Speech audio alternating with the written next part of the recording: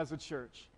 In case you're wondering, we've got those milestones listed to my left on the banner. We've got them listed in your bulletins. We've got them listed in our hallways. And the milestone that we come to today is this life. Life in Christ. Now, at the very heart of this milestone is this idea that all of us should be in a growing, growing relationship with Jesus Christ. It should never become stagnant. There's always something, something we can learn. There's always an area in our lives where we can improve on. Now, Paul describes this growing relationship with Jesus as the fruit of the Spirit. I mentioned the fruit of the Spirit a little bit last week, and I want to, to delve a little more in depth with the fruit of the Spirit this week so that we can see what a, a growing relationship with Jesus truly looks like. Paul mentions the fruit of the Spirit in the book of Galatians, the fifth chapter, beginning with verse 22. And this is what Paul writes But the fruit of the Spirit is love, joy, peace, patience, kindness, goodness, faithfulness, gentleness, and self control. Against such things there is no law. Those who belong to Christ have crucified sin, the sinful nature with its passions and desires. Since we live by the Spirit, let us keep in step with the Spirit. Let us not become conceited, provoking, and envying each other. The Word of God for the people of God. Would you please pray with me? Dear Heavenly Father, may the words of my mouth and the meditation of all of our hearts, souls, and minds gathered in this place be acceptable unto Thee, O God, our rock and our salvation. Amen. So, Paul lists nine qualities, nine characteristics of the fruit of the Spirit. And so this morning, I'm going to go through all, quickly, I'm going to go through all nine of those qualities, all nine of those characteristics when we talk about the fruit of the Spirit. The first quality, the first characteristic is love. Now, this is not, it's not an emotional, mushy, sentimental type of love. This is a sacrificial, this is an unconditional type of love. This love is a decision, a decision of choice rather than a decision of emotion. It's a decision of choice rather than a decision of emotion. Think about two people when they're first starting to go out, right? When they first start to go out, when they first start seeing each other, they both want to put their best foot forward. They, they, they both want to appear to the other one as beautiful, as handsome as they, as they can.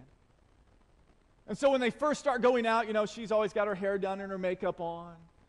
She's always dressing up, and, you know, he, well, he's a guy, at least I hope he's putting on a clean pair of pants, right? But when you first start going out, you always put your best foot forward. You always want to look beautiful. You always want to look handsome. And I'll tell you, it's easy, it's easy to emotionally love someone when all you see is the good. It's easy to love someone when, when all they are is beautiful or handsome. But if those two people stick together long enough, right, if they get married, eventually they're going to see one another with bed, bed hair and bed head, and they're, they're, you know, they're going to have to deal with halitosis. And, and eventually, inevitably, right, inevitably, if you're, if you're together long enough, you're, you're going to see your spouse, you know, throw up in a toilet. And there, there is nothing pretty about watching someone throw up. I don't care who you are. There's no good way to throw up in a toilet, but eventually, you're, you know, you're going to see your spouse do that, right? And it's in those times, it's in those moments when you choose, when you choose to love them.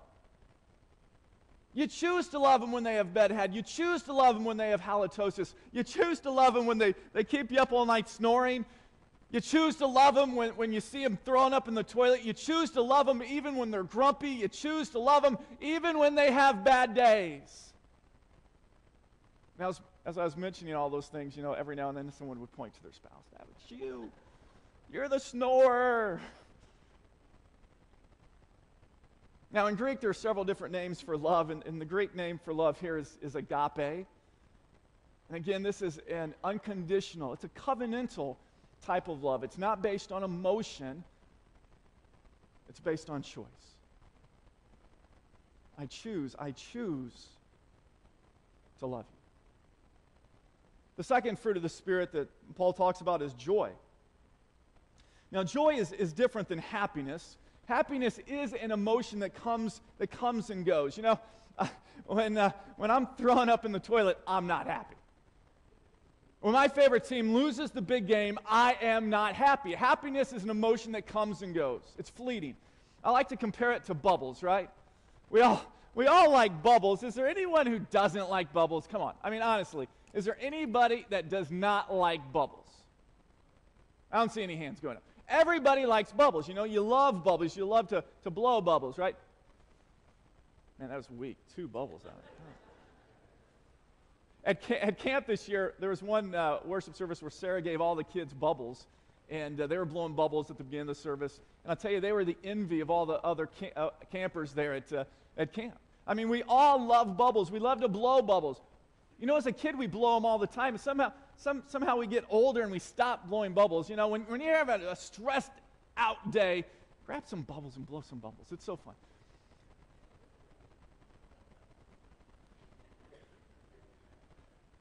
But here's the thing, right? Bubbles are like happiness. You blow the bubble and eventually it what? It pops. And the same is true with happiness. Happiness comes and happiness goes. But joy, but joy lasts a lifetime.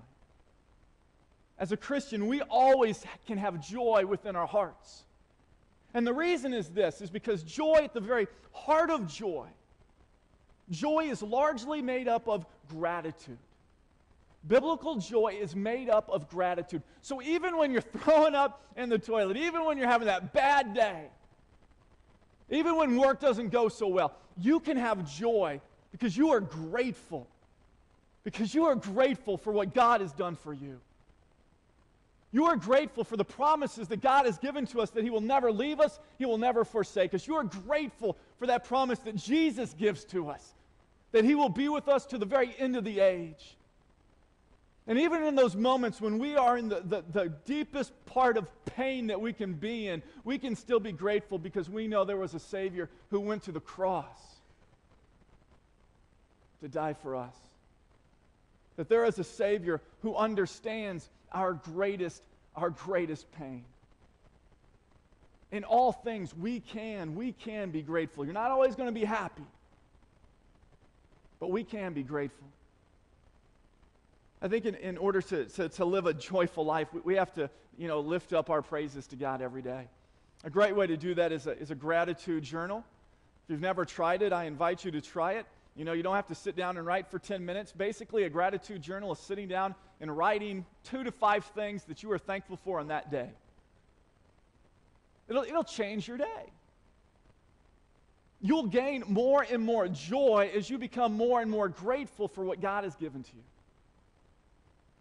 And if you can't think of anything, just be grateful that, you know, the, the sun came up again, that it's a brand new day. In Psalm 118, verse 24, the psalmist says, this is the day the Lord has made. Let us rejoice and be glad in it. The third quality of the fruit of the Spirit is peace. Peace. Now, I'm sure many of you are aware that, uh, you know, Paul George, Paul George is an NBA player. He plays for the Indiana Pacers. I'm a big Paul George fan. And if, you, if you've seen the news, um, you know a few weeks back he was playing for Team USA. He went to block a shot. He came down wrong. He broke his leg. But he just didn't break his leg, it was like a compound fracture. It was like a bone sticking out of his leg. Kyrie Irving, who is also an NBA player who is playing on Team USA, saw it, and almost immediately, Kyrie Irving went to his dad, wrapped his arms around his father, and started to sob at the sight at the sight of this injury. But what was amazing about the whole thing is that you see you saw all of his teammates and all of them are like in shock. Kyrie Irving, Irving is sobbing, yet there was Paul George on the floor and he was calm as could be. Later, someone asked him about it, and this is what he said. He said, I remember the training staff coming over and being by my side holding me down, telling me to stay calm and not to look at my leg. Now, that's the greatest advice ever. He goes on, that definitely helped me to not panic. I knew I had people by my side. They took my mind off of what had just happened. Thanks to the docs, to my family coming over, my parents coming by my side, teammates coming over, that pain quickly went away. Well, for us, spiritually speaking, as disciples of Jesus Christ, as people who have been given the fruit of the Spirit, it's in the midst of turmoil, it's in the midst of chaos, it's in the midst of pain that the Holy Spirit comes alongside us and gives us that peace that passes all understanding. It's in times of hurt, it's in times of pain that we are given that supernatural peace. And sometimes that peace comes from other people. Other people praying for us, other people coming by our side, taking our mind off those things that are hurting us. The fruit of the Spirit. It gives you a supernatural, a supernatural peace. A peace that passes all, all understanding. It is calm. It is calm in the midst of the storm. Fourth characteristic of the fruit of the Spirit patience. Patience. Now, in Greek, this literally means the ability to hold one's temper for a long time. Okay? So here we're not, you know, we're not dealing with patience during your diet. We're not dealing with patience as you recover from a bo- broken bone. For me, those things deal morely, more, more, more closely with peace, right? We should have peace with the situation as we're healing. We should have peace in our diet. But here, specifically speaking, patience is the ability to hold one's temper for a long time. That's one of the fruit, fruit of the Spirit. And so when the person cuts you off, you have patience, right? When someone, uh, when, when someone speaks badly about you, you have patience. When your kids are driving you nuts, you have, you have patience. We might have the ability to seek revenge. We might have the ability to strike another person, but we refrain from doing so because we have patience.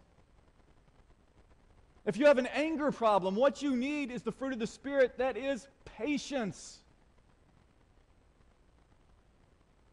The fifth quality of the fruit of the Spirit is kindness. In Greek, it's the word krestos, and part of its meaning is usefulness. Part of its meaning is usefulness. So when you are kind, you are useful to someone else. When you are kind, you are assisting someone, you're helping someone. It's more than words. 1 John 3:18 tells us, "Dear children, let us stop just saying we love each other. Let us really show it by our actions." Now, I don't want to downplay words because we know that words can hurt, words can heal, but more than just saying kind words, we need to show kind actions. That's what the fruit of the Spirit leads us to do. It calls us to go out and to be kind. The sixth quality of the fruit of the Spirit is goodness. Now, goodness refers to, uh, refers to, to God's nature. God is, God is good. When God created everything in the gar- when God created everything after the six days, right? So everything's done. God looked at it, and what did God say that it was? He said it was very good. God is good. James chapter 1 verse 17 tells us every good, not some, not the majority, not 99% of the time, every good and perfect gift is from above, coming down from the Father. Every good gift is from God. And so even when a non believer does good, and I see it all the time. Even when a non believer does good, whether they know it or not, whether they want to attribute it to God or not, when even a non believer does good, I believe it's God working through them. In the Methodist Church, we believe in this thing called prevenient grace. And that is God's grace given to us even before we know or believe in a God. So every good thing, every good thing comes from the grace of God, God working through us through the Holy Spirit. And as people of God, we should be doing good things. We are not God, but we can have a little bit of God's nature. We can be good, not from our own, not from our own power, but through the power of the Spirit. Goodness. The seventh quality of faith, the seventh quality of the fruit of the Spirit is faithfulness. Faithfulness. I read, I read a Hallmark card once, and, and I'm not even sure what this means. But I'm not sure I like it, you know? I'm not sure it passes the smell test. I read a Hallmark, Hallmark card once that said, I can't promise you forever, but I can promise you today. Again, I'm not even sure what that means. I, ca- I, can't, I, can't, I can't promise you forever, but I can promise you today. And again, I don't know what it is, but there's just something about it I don't like. When I married my wife, it just wasn't for a day.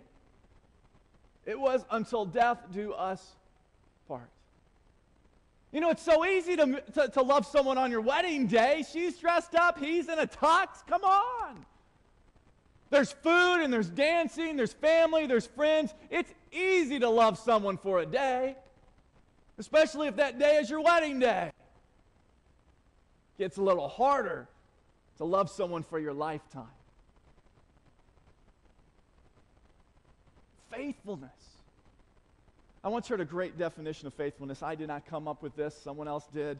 Faithfulness is love hanging on. Isn't that a great definition of faithfulness? Faithfulness is love hanging on. Faithfulness is love saying, I will not quit. There may be misunderstandings, there may be disappointments, there may be discouragements, but I will not quit. We need to be faithful with God. We need to say to God, God, I will not quit believing in you. I will not quit trusting in you. We need to say to our spouse, I will not quit, even in the midst of disappointments, even in the midst of hardship, even in the midst of maybe my emotions not being what they should be. I will not quit. And we need to say it to our kids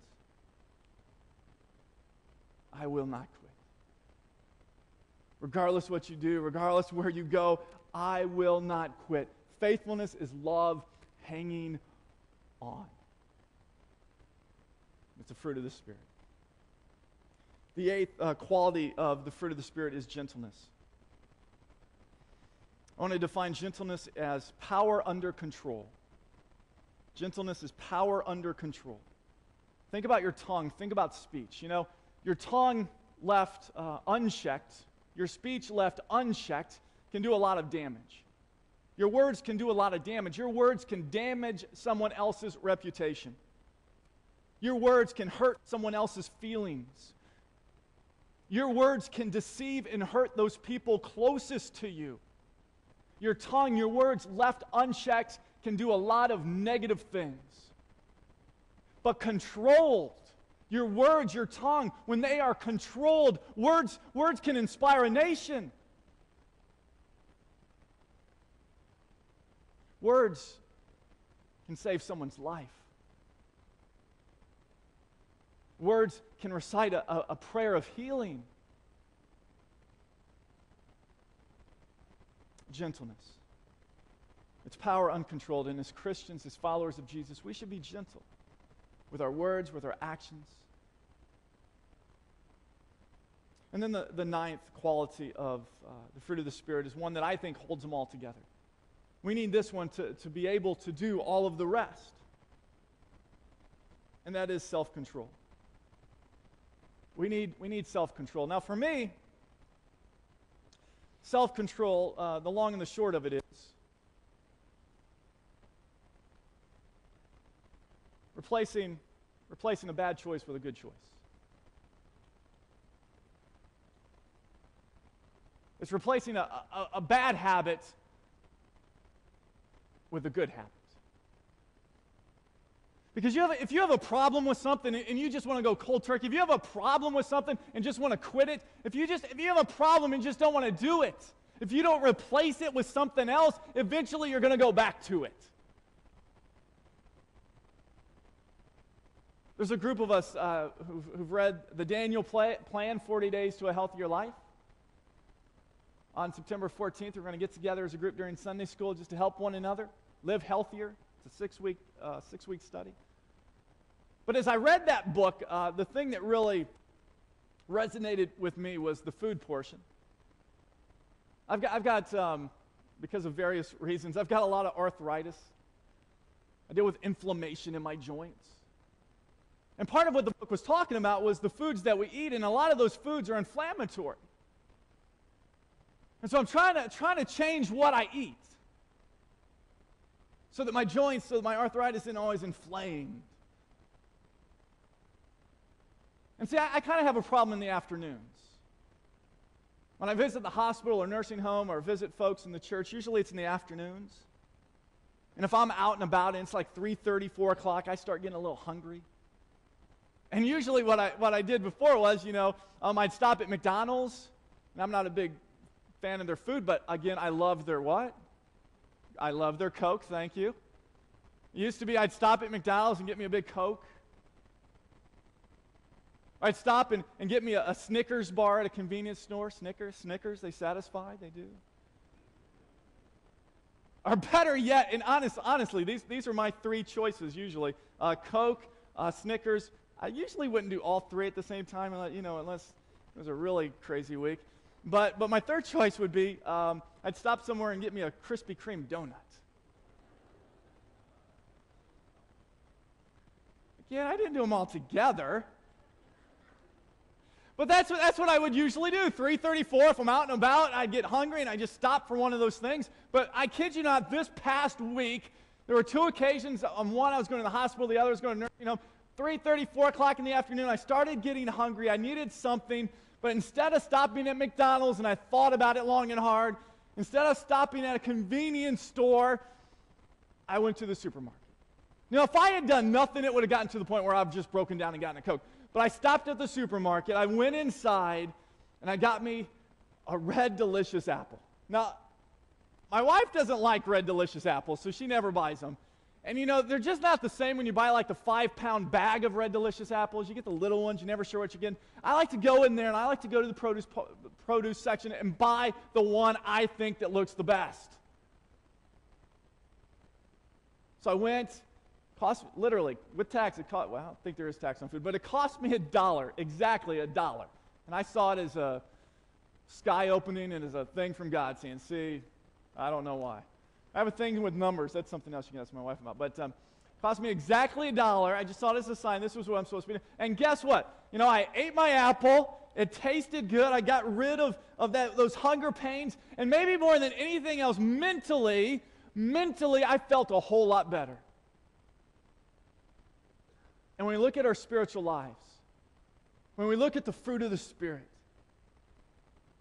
ultimately God has given us the fruit of the Spirit because He loves us desperately. God loves us desperately. So much so that He gave His Son to die on a cross, that He gave us the power of the Holy Spirit so that we would have the fruit of the Spirit, so that we could live abundant lives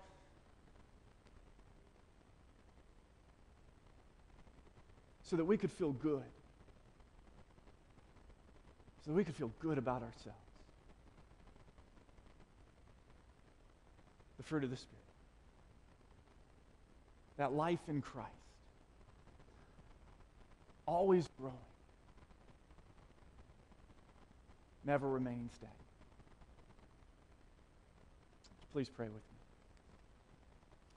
Dear Heavenly Father, we thank you for the power of your Spirit. We thank you for your grace and for your love. We thank you for that, uh, that love is that, that love that is so overwhelming, that, that it gave to us your Son, that love that is so overwhelming that you want, you want us to be filled with the Spirit. Who wouldn't want to be more loving, more joyful, more peaceful, more patient, more kind, more good? more faithful, more gentle, more self control. These are awesome qualities to have. And you have given them to us. You've offered them. It's, it's a, just a gift. I just pray we may center our lives upon them. Dear God, thank you for, for being here with us. Thank you for loving us. Give us these qualities. Give us the fruit of the Spirit. And may we never hunger. It's in Christ's name we pray. Amen. Would you please stand with me as we join together in our closing song?